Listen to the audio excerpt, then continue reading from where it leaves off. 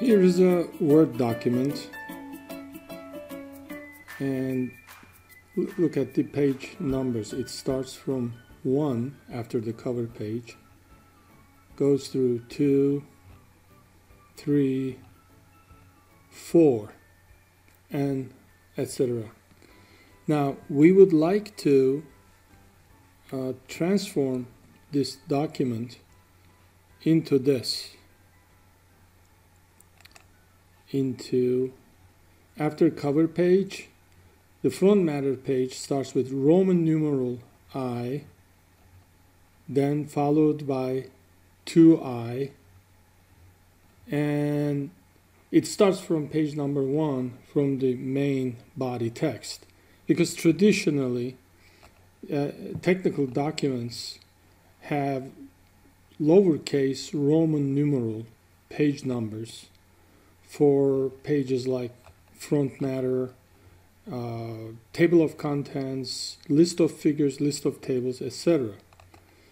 So how do you do this? How do you switch from Roman numeral formatting to Arab numeral, the ones we use uh, normally in daily life, one, two, three, etc. Now, for some students, this, this is not an easy task. And they give up and they end up uh, numbering everything starting from uh, top of the document going all the way down. Well, the secret is in introducing, inserting uh, section breaks. Without section breaks, you can't do this. Now, this is what I mean. If you double click uh, on, on the footer, you will immediately see in Word, like this is section number two, this page, and this is section number one because it's the uh, cover page. And section number two, the table of contents, again, section two. And when we get to our main body, it continues as section two. Okay and the rest of the document is just one big section. Now to switch to Roman uh, numerals, we have to introduce we have to introduce uh, a section break uh, right after right after the table of contents. And how do we do it?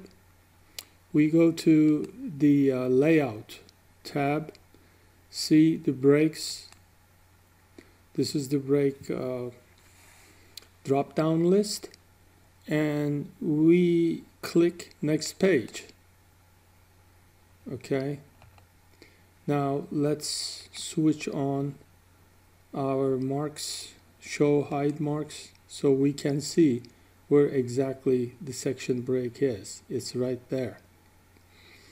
Now if I double click on the footer, as you can see, it jumps from section 2 to section 3. This is great actually because now you can see the body page since it's a new section it starts from page number 1 goes to etc.